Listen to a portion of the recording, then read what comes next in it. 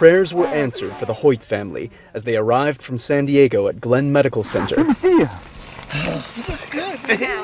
On his way to freshman orientation at Humboldt State University, Harley Hoyt expected to see the first glimpse of his future, but instead, Chaos is what I saw. sitting in the back of the bus, Harley didn't see the FedEx truck coming, but he heard the screams of the others up front. Once we hit the impact, the front of the bus like was on fire, and like smoke started coming through the whole um, the whole bus. Harley was able to break open an emergency window exit just in time. I looked out the window and the FedEx bus was already on fire, so I was like, okay, we're gonna blow up any second. Getting out of the bus was just the beginning. We all crossed Interstate 5 and got on the southbound side.